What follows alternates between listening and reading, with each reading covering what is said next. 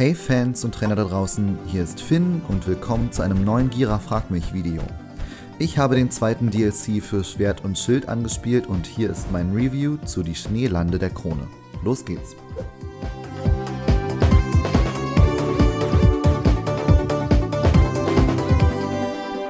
Die Schneelande der Krone können in Pokémon Schwert und Schild erkundet werden und damit ist die Galar-Region wohl erstmal vollständig.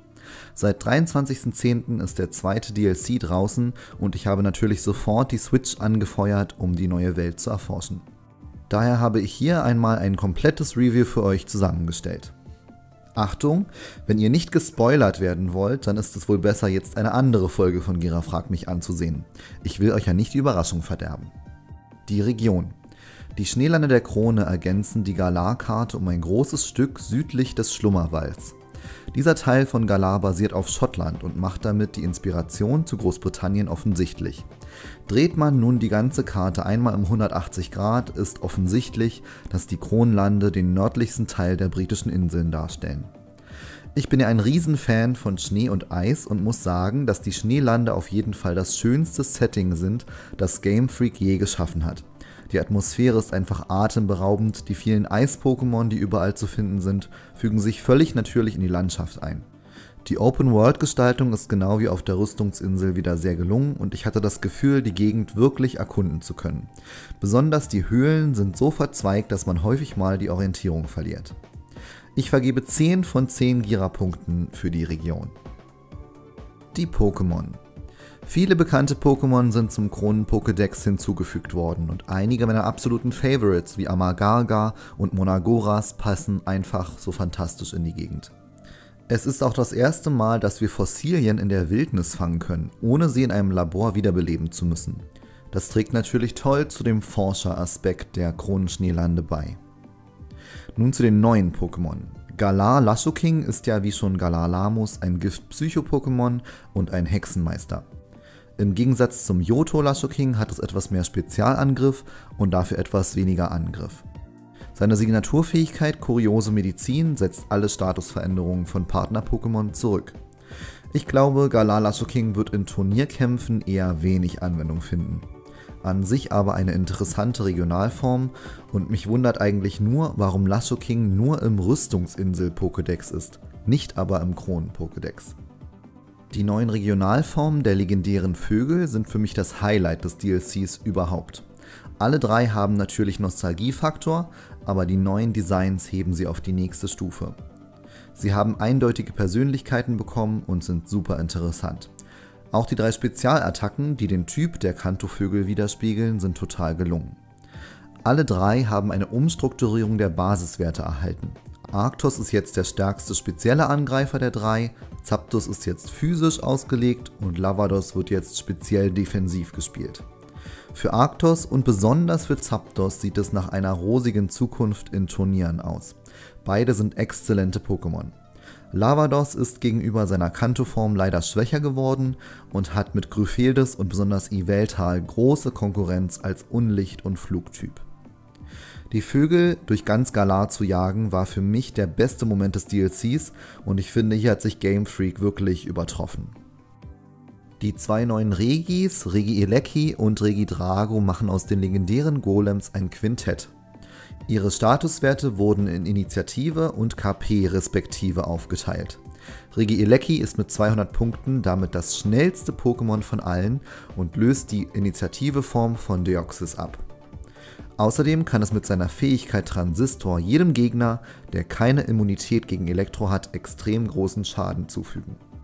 Definitiv der Gewinner unter den Regis.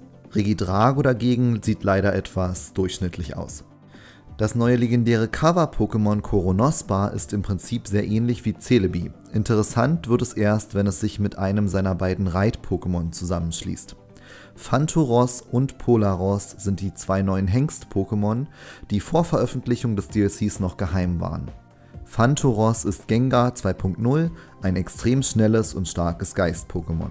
Sein Gegenpart Polaros ist ein physisch sehr gut ausgelegtes Eis-Pokémon. Mithilfe von speziellen Zügeln kann sich Koronospa mit jeweils einem von diesen beiden Rössern verbinden. Es reitet buchstäblich auf ihn und wird dann Rappenreiter Koronospa bzw. Schimmelreiter Koronospa genannt. Beide Formen haben haushohe Statuswerte und beide haben jeweils zwei Fähigkeiten gleichzeitig. Daher werden sie sicher in den meisten Formaten gebannt sein. So stark sind sie. Als ich hörte, dass es ein neues legendäres Eis-Pokémon geben wird, war ich natürlich extrem gespannt. Schließlich ist es mein Lieblingstyp. Obwohl ich beide Rösser sehr schön finde, fehlt mir doch bei beiden irgendwas. Ich finde, dass sie irgendwie unfertig aussehen. Das mag Absicht sein, damit es mit Koronospa zusammen nicht zu überladen wirkt, aber trotzdem sind die beiden als eigenständige Pokémon ziemlich underwhelming. Auch der Gedanke, dass ein Pokémon auf einem anderen reitet und damit mit ihm verbunden ist, will bei mir nicht so recht landen. Ich erinnere mich, dass es mir mit Kyurem und Necrozma ähnlich ging, also vielleicht ist es nur Gewöhnungssache. Mir gefällt gut, dass die legendären Pokémon wieder ein bisschen mehr Story im Spiel erhalten und die Schauplätze der Encounter sind allesamt total beeindruckend. Insgesamt erhalten die neuen Pokémon von mir 8 von 10 Gira-Punkten. Die Charaktere. Peony ist uns schon seit geraumer Zeit als der Hauptcharakter der Schneelande bekannt und ich muss sagen, dass mir seine quirlige und etwas exzentrische Art total gut gefällt. Auch die Dynamik mit seiner Tochter Mila ist stellenweise ziemlich witzig und wurde gut umgesetzt.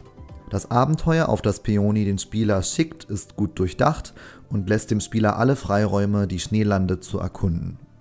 Leider sind diese beiden schon alle neuen wichtigen Charaktere in den Kronen-Schneelanden.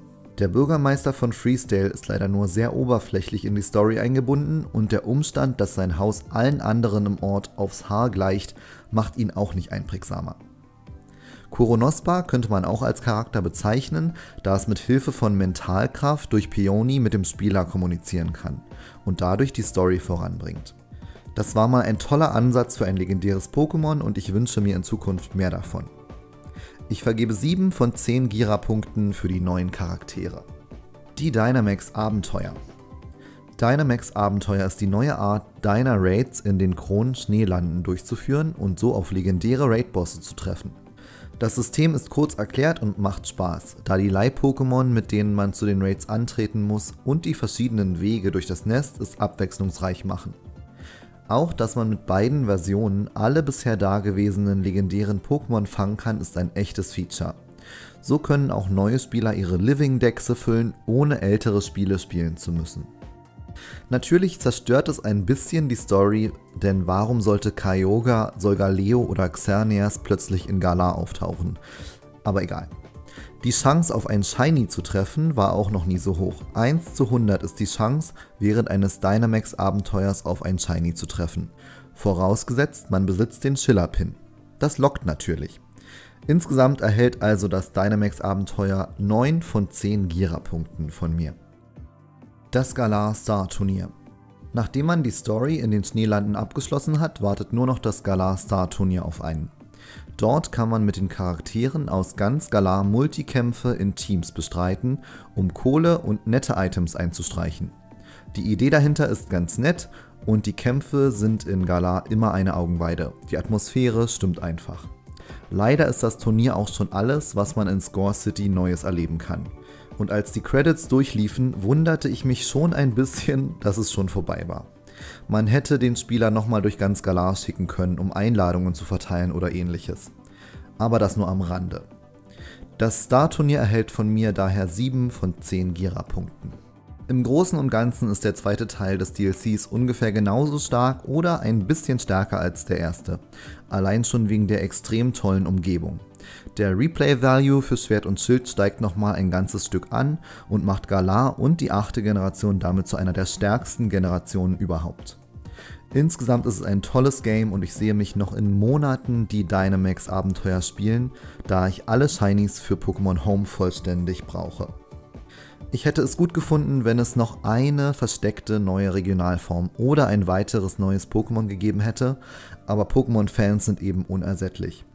Ich bin aber begeistert, dass Game Freak den Weg der DLCs gegangen ist. Es war an der Zeit.